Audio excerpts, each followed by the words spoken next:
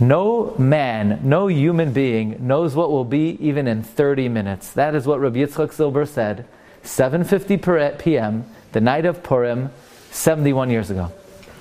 That morning, this inmate comes running back to Rabbi Yitzchak Silber. He said, "You know, I just heard on German radio. You wouldn't believe it. Stalin had a stroke. Stalin had a stroke. Now he was healthy like an ox. Stalin had a stroke the night of Purim, 71 years ago."